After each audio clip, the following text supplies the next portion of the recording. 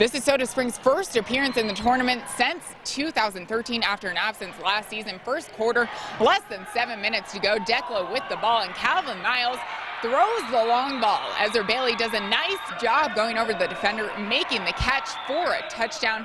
The extra kick makes it 7-0 Declo. About five minutes later, Declo again. Miles hands the ball off to Braxton Webb, who almost gets tripped up, but the kid sees the light at the end of the tunnel and stays on his feet for 49 yards into the end zone. The two-point conversion would make it 15-0 Declo.